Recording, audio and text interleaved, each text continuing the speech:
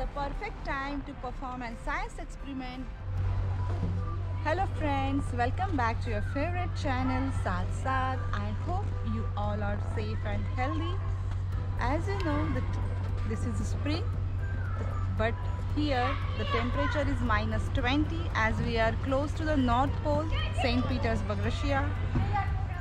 By now you must have guessed it from the title of my video. I am going to make an instant snow from boiling water. So let's start.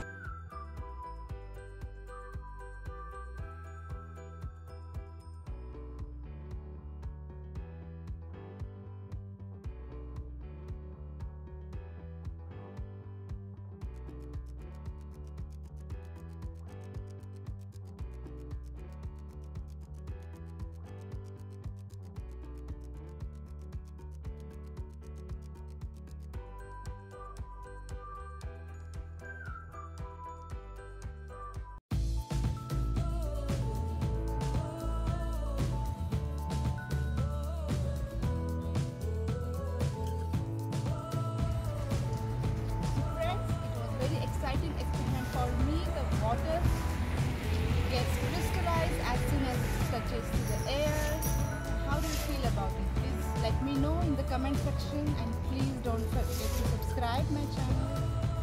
Sath Sath and press the bell icon. Paka paka.